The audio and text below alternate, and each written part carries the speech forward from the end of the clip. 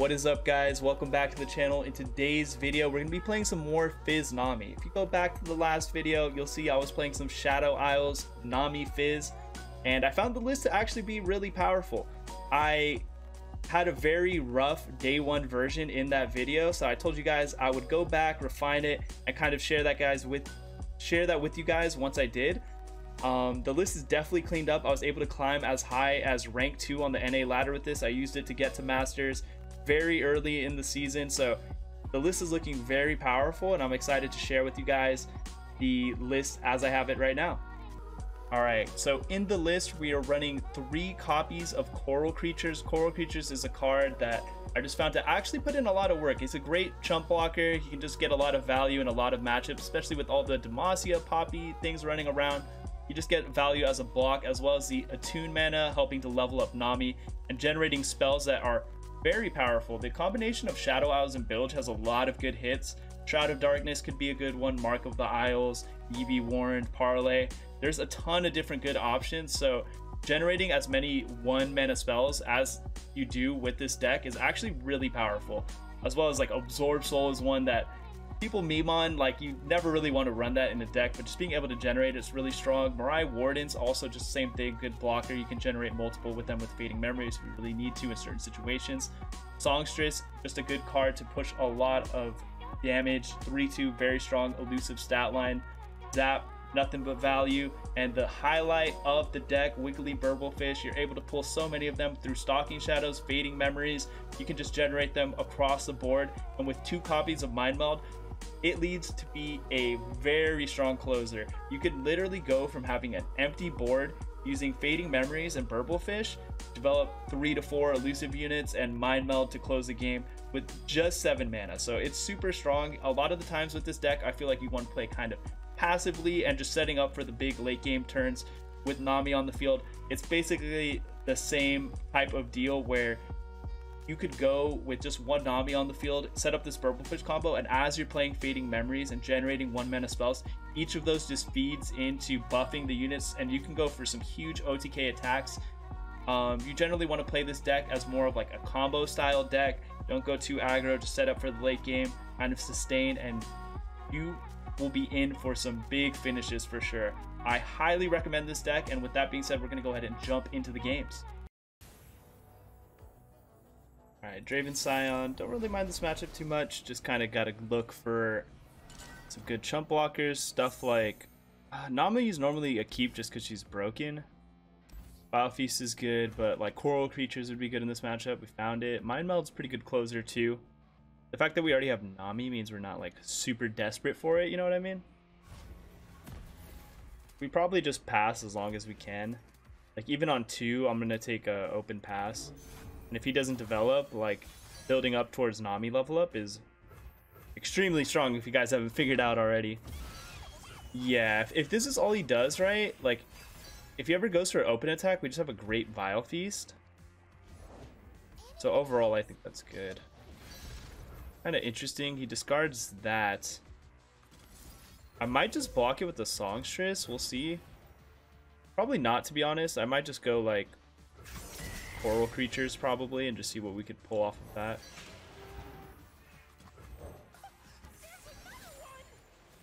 Mark's super nice here.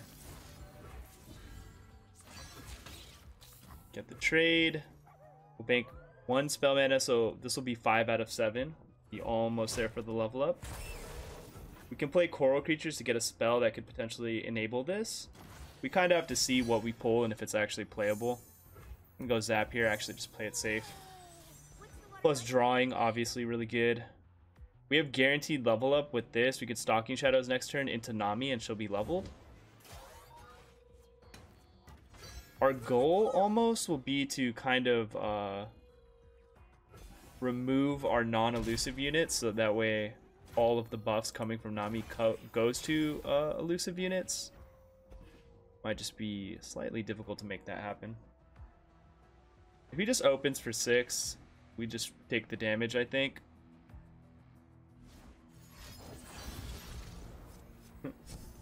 More than six, I see. I go wide with Warden. Hit the codger. We're sick.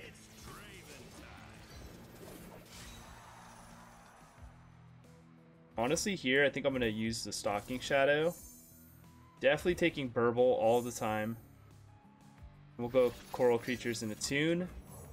When we play Nami next round, we'll get one more spell mana, and we'll just be at max spell mana and able to do a lot of tricky stuff for sure.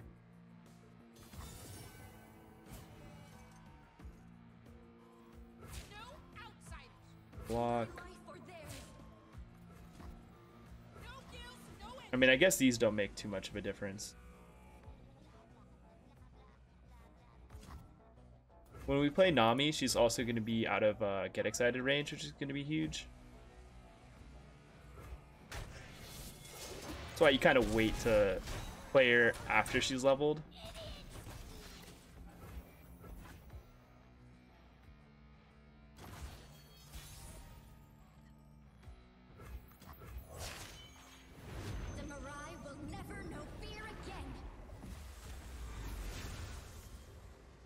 None of these units are super great EB Warren targets, just because they all like kill this.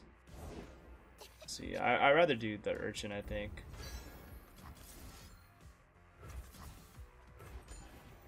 I just want to get the discount on the Burblefish.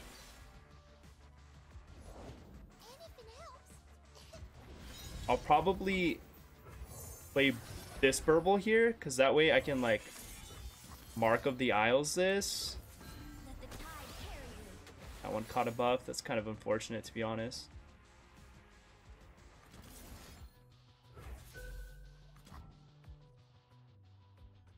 Play the Go Hard. Get this one for zero. And I'll have one more spell mana to play one more spell. Which obviously can do a lot for us. Pushing 10 elusive damage, 12 Another mark? It's just a bit off. see. I mean, I always play this mark here for sure. This buff will just go to the 2-1. Yeah, 2 damage off, but we get a draw, have a strong board of blockers, and we have another Warden in hand, which just means, like, it'll be that much harder for him to kill us. And we're like one for one with him.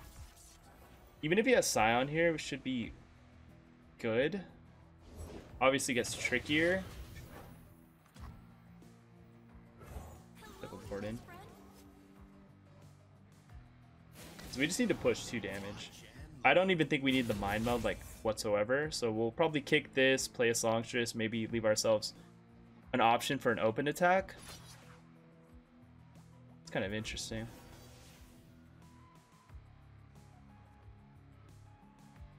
Here since it has overwhelm. Well, I guess I might want to block there. Well, I'll block there with Nami, I think. It's like block here, block here. Units alive. Card this. Or three. Can actually switch these now. Go to 12? Yeah, it's completely fine.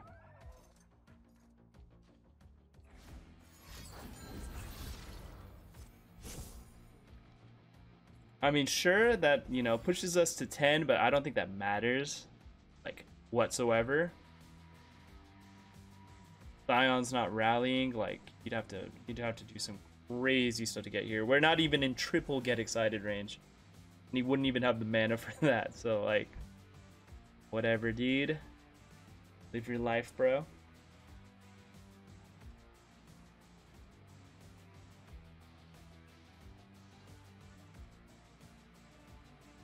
I have a feeling when I play this, you might just hit the surrender button. We'll see, though.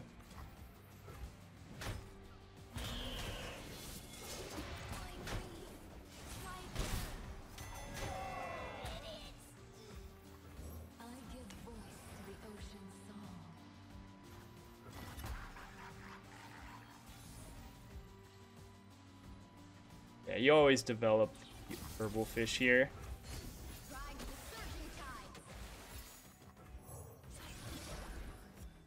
make it more difficult for him to clear the units.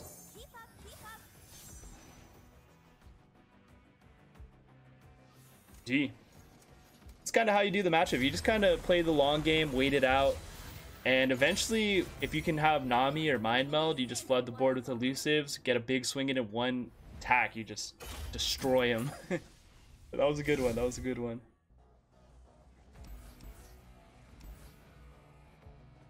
Alright, keeping Nami. Nami's, you know, definitely busted. Stalking Shadows on 3 will be good.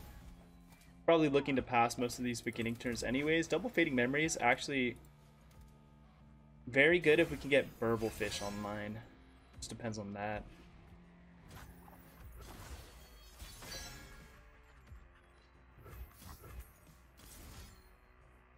Go with the Songstress here. For a pass at this point because he's literally just at 6, but that passage is always proper.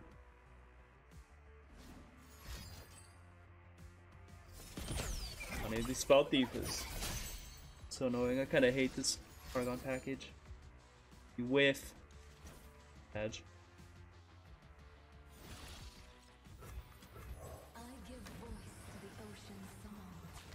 Put a little bit of pressure on.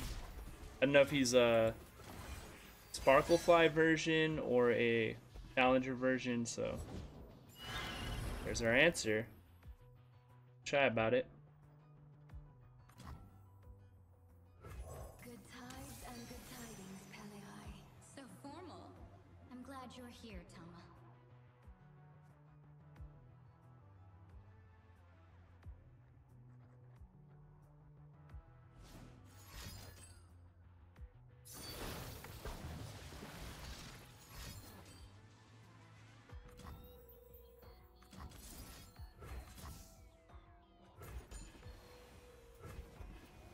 Get some more spells played. We're playing for the late game again, so like, that's fine. It'll push one damage with Sparklefly, I guess. We can just drag this keg with the Nami.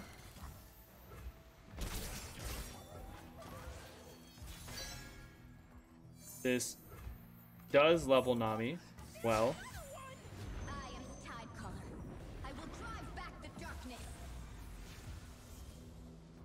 I might even play like an ephemeral coral creatures here. We'll see. There's a lot of good stuff I can pick up off of him. I mean, the biggest one is the Eevee Warned would be huge right now.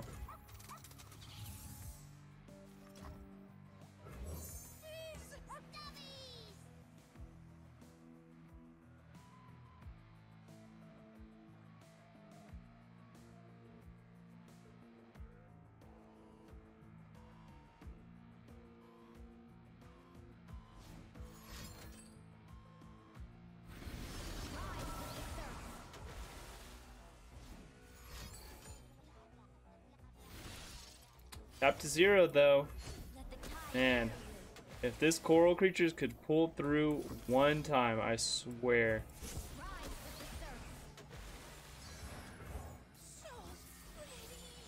Absorb Soul.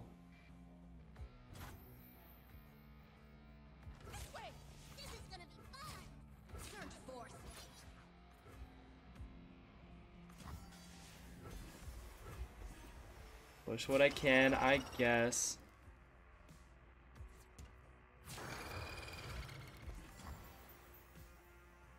Interesting, he's down to just uh, trade down. It's just my glimpse at this point.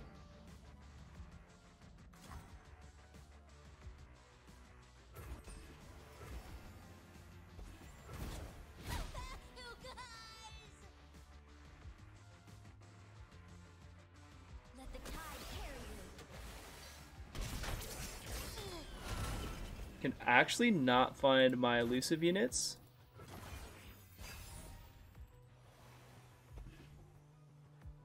There's one. Probably go with the tangible unit at this point and save the songstress for like an attacking turn. Yeah, Loki, that being on the board might not be bad for it.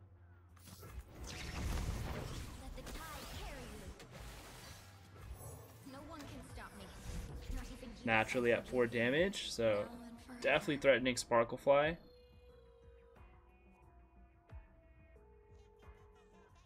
I almost feel like if I play this, I could bait him to do something with that. Ephemeral Sparklefly, I care less. Get a Coral Creatures down. He might have messed himself up with this, just because the Ephemeral one will take a buff. So I have to try to go for this parlay. Especially since we have Vile too. Like, this could be even more difficult. Like, if he plays Pale Cascade, he could just be dead.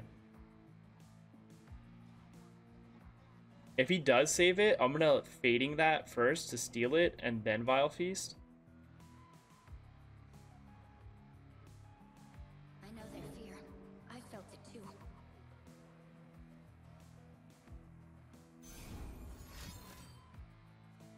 Sunblast. Can't beat Sunblast, unfortunately.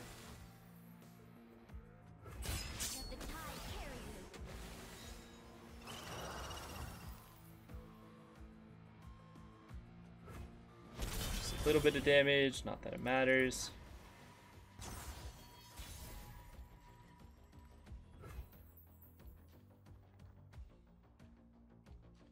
This is a zero mana Burble, so I think we are gonna go ahead.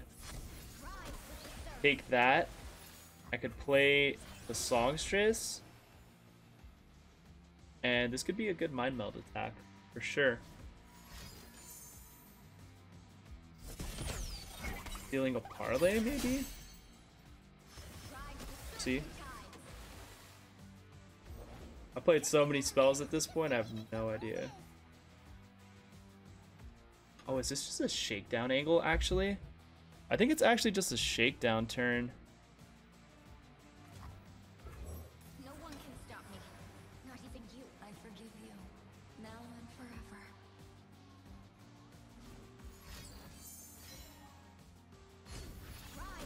Well, does he know I could care less?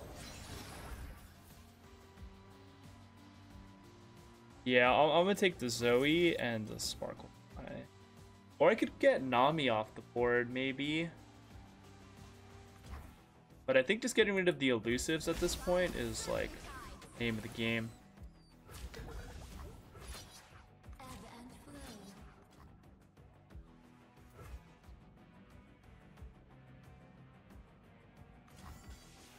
It's good.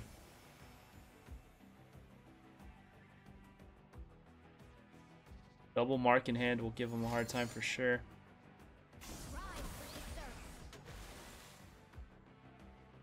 So at this point, if I pick a card, it already threatens, right?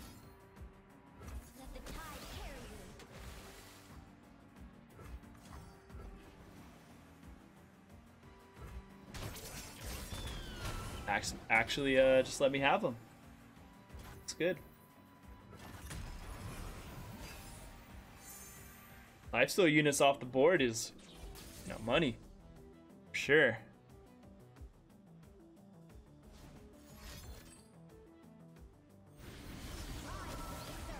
Okay. Obviously not killing that one. Oh, goes for the Calibrum. Crazy. Wild for that one, bro.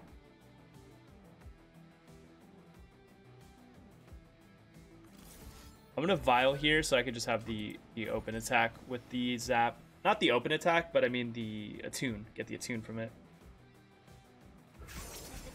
I guess this could have been just the Nami Ebb and Flow. Although, same difference. What's the water like down there, guys? You can't do this. Using this in the ebb seems good. It'll buff. It hits it too, makes it even that much harder for it to live. I'd even get a surrender out of him without needing to use the mind meld. Crazy enough.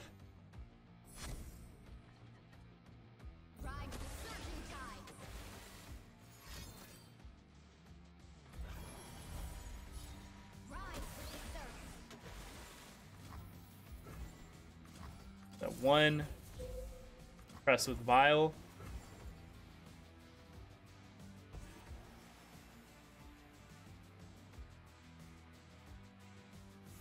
Adam boys. That matchup's always a grind, but oof, pretty satisfying when we get there for sure. All right. I think Warden's definitely good in this matchup. Songstress isn't bad either. I think these are probably a little pricey in this matchup where they're going to put a lot of pressure on. We got two very slow, slow cards in return, so hopefully we draw well. We kind of did. Vile Feast hits for sure. Kind of just realized this is a fellow elusive deck. We won't want to use Vile on something like the Blade Scout, right? Because it like lost the elusive ability. We got our own Blade Scout. So cute. Funny.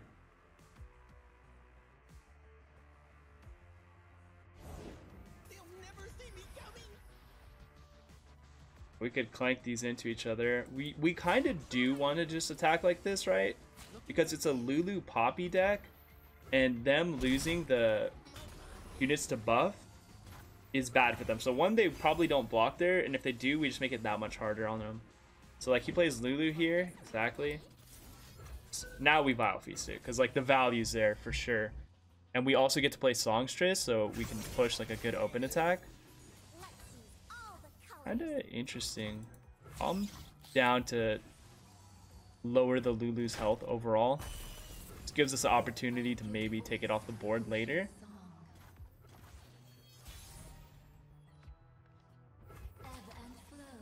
Yeah, yeah, yeah. I, the hesitation was kind of bad. He uses sharp sight, so I don't know. He's playing very risky with the Lulu. This will go to one. That's fine. We don't take a glimpse there because the damage on the Lulu actually could matter. I'll just drop another ward in here, be a little bit mana efficient.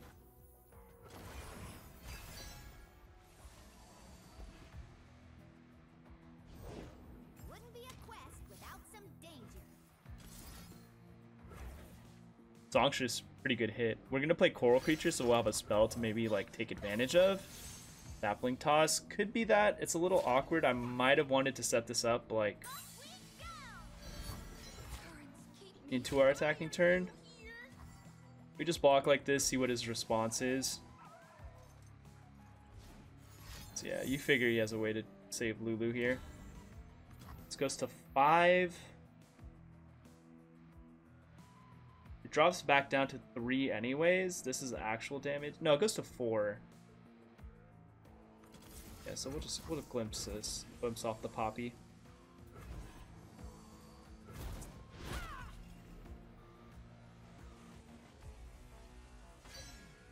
Fadings and Burble, we have like the ultimate combo in hand. So if we can get these guys to zero on the turn after this attack, like you know, that's massive for us. Triple fading. We send that off to block for us on the like last turn. That's gonna matter. I feel. Hmm. I could like copy that and draw, but I don't think it makes too much sense. We'll just attack with both of these and see how he reacts.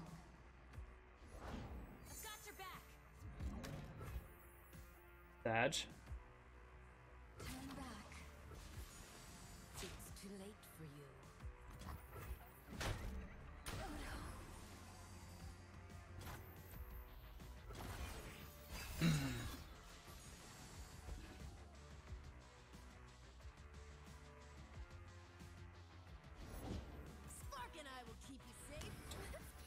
Hey guides. Interesting. Once again though, something that like shouldn't matter. I might even play both fadings right now so they're just sit in my hand at zero.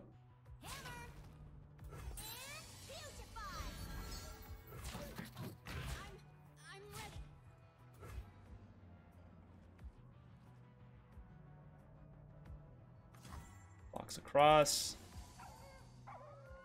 Rally's a little little funny. Keep it real.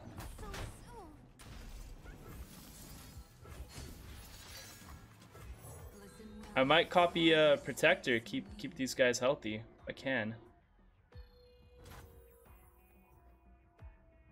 This mana doesn't matter.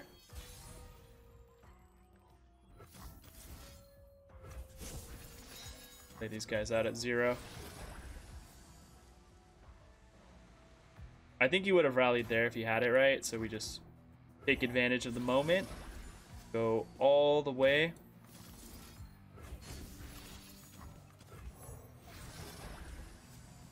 I'd be shocked if this didn't take him out. If he ever does an action and like forces us to play this, we will.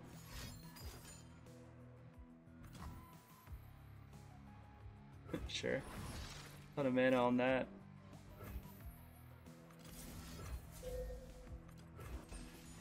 Could play this and the coral creatures, right? It gives us the opportunity to drag an elusive blocker.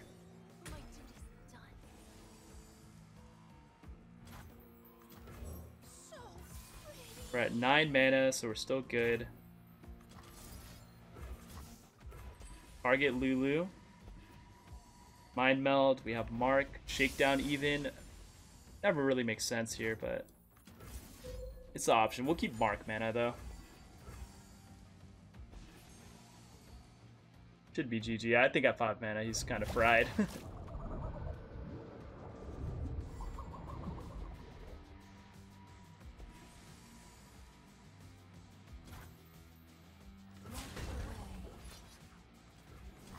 That's a wrap, boys. Gotta let it let it sink in. Sink into his brain. Alright. Nothing like a good old 30 damage overkill. Yeah, Mind Meld is just huge in so many matchups. Just a way to close the game, especially when you have Burbles at zero. Combo's so nice.